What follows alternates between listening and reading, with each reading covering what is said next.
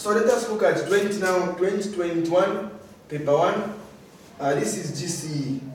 Okay? It's saying uh, in the diagram, A, B, C, and D are points on the circumference of the circle. Now the center of the circle is what? O. Okay? Such that angle A, so the angle D, AB is equal to 36. So angle uh, D, A, B is 36 as given. Then the line uh, BC is equal to CD. So uh, take note, uh, BC is equal to what? CD. These two are equal, only got these arcs, okay? For these bars. They are very, very important. So these two are what? These two are equal. And EBF, EBF, this one is tangent, okay? So one they are saying uh, EBF, EBF is a tangent to the circle. So this are EBF, it is a tangent to this circle and it touches at which point? So it touches only a single point of a circle, which is point what? Point B. Okay? So EBF is a tangent to this circle, touching at the circle at point B. Then question 8 saying, find angle BOD. Find angle uh, BOD. This angle. This is the angle we want. Angle BOD. This one is simple. Okay? We know that uh, this is the angle at the center and you have the angle in the circumference. So if you want to find the angle at the center, you multiply a 2 multiplied by the angle on the what? On the circumference. That is if you are told, like in this case, we are told to find this angle, which is angle BOD. We are told to find this angle BOD, which is the angle at the center. We know that if this is uh, if this is 2x, this one becomes what? X. Are we together? So since we know that um, this is uh, 36, so for us to find this angle, just say 2 times what is x? 36. 2 times 36 to get this angle. Okay? So what I'm saying is, let me answer question A. So question A, they are saying angle, find angle BOD. So this is the angle at the center, which is twice the angle in the circumference. Okay? So it just say this one is what? Just say uh, it's 2 what? 2x. Okay? So what is our x? So 2 times x.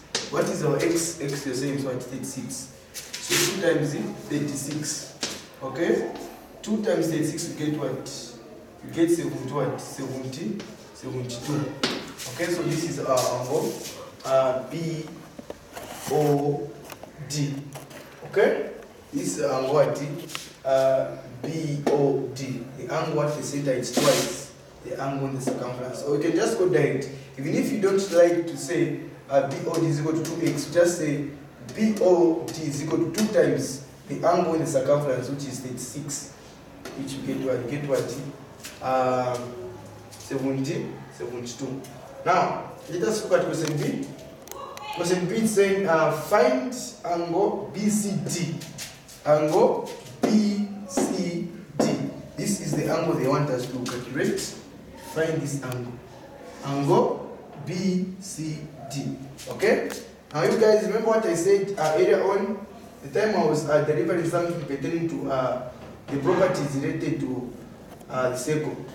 I said, uh, look at this case. In this case, we have been told to say, uh, in the diagram below, A, B, C, and D are on the circumference of the circle. So A, B, C, and D.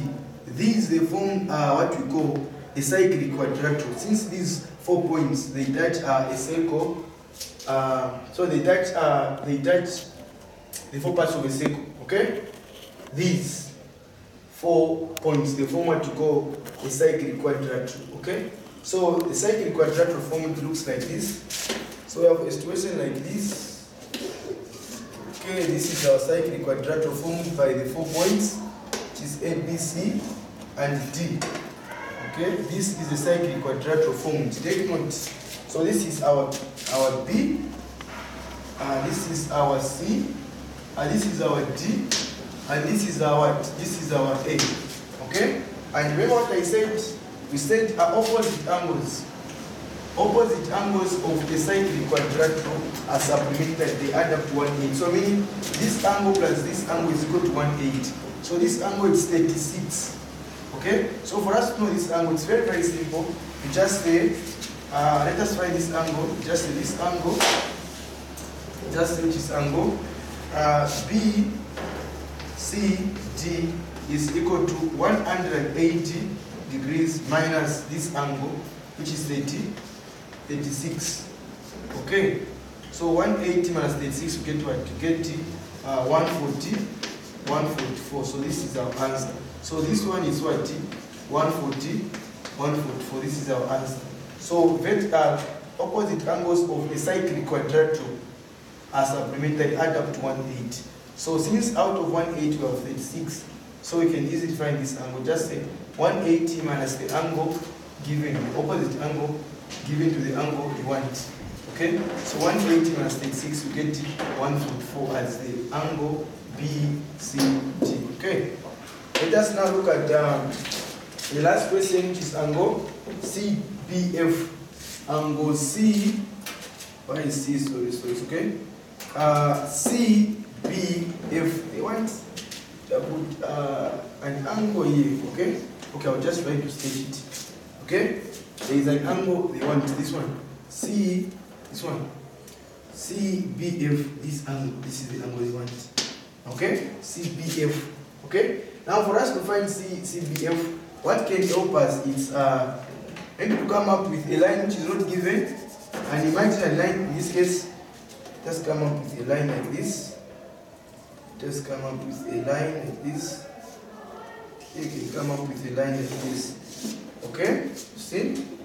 So, having done that, you realize this is our center, center of the circle, and any line which uh, comes from the center of the circle and touches the circumference, it's a radius. So this is radius, and this OD is also a radius because it's coming from the center, touching the circumference. So this one and this one are equal. Okay? Hence, the triangle formed is what? Is an isosceles triangle. So it's like we have an isosceles triangle like these people, this isosceles triangle, where we are saying this is O and this is a radius because it comes from the center, touching the circumference. And then this is uh, B, point B, and you have point D.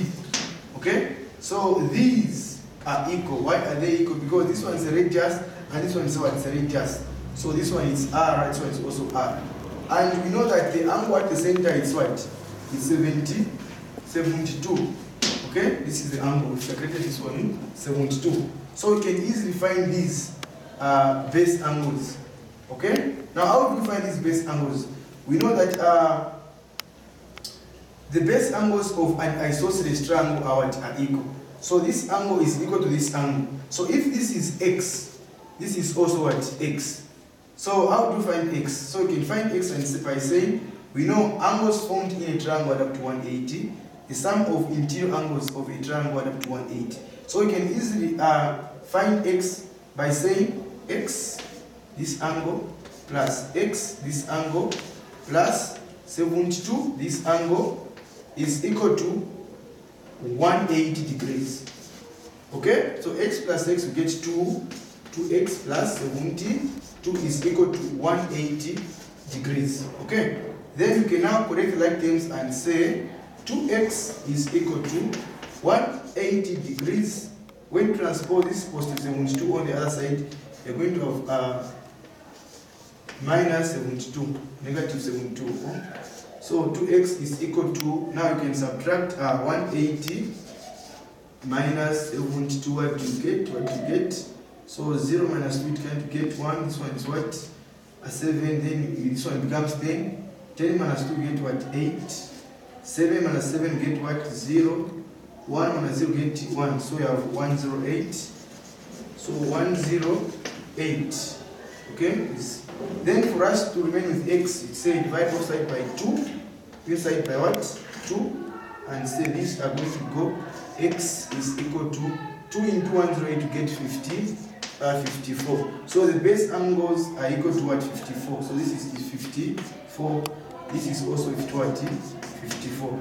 54 plus 54, you get what? 108. 108 plus 72 get 180 which is the sum of interior angles of the triangle okay now this is not our answer so we are saying this angle guys this angle is 50 it is 54 degrees. Even this angle since the base angle is, is equal to what 54 okay and this is a want to take note.